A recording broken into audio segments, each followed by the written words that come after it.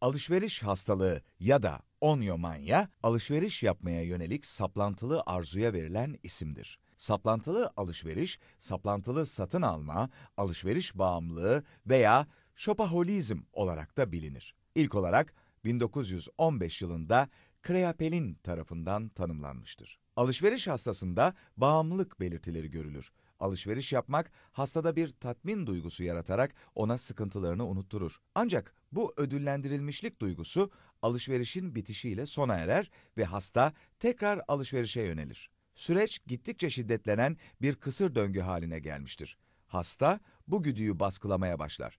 Bazı vakalarda hastanın satın aldığı eşyaları sakladığı veya imha ettiği görülmektedir.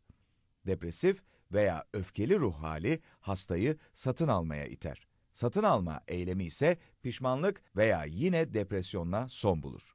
Bu durum yeni bir alışverişi kaçınılmaz kılar. Hasta gittikçe daha mutsuz hale gelir. Alışveriş hastalığı genelde erken yaşlarda başlar. Çocuklukta önemsiz biri olma zannı veya düşük özsaygı ilerleyen yaşlarda istediği şeye istediği an sahip olabilme tutkusunu doğurur. Satın alınan şeyin niteliği hasta için genellikle çok büyük önem taşımaz. Çünkü önemli olan satın alma eyleminin nesnesi değil, öznesidir.